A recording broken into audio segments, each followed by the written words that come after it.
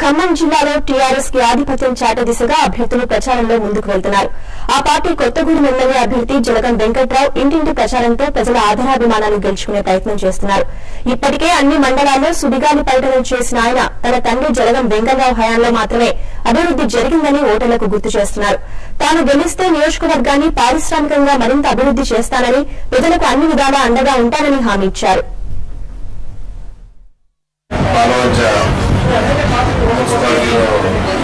Gracias.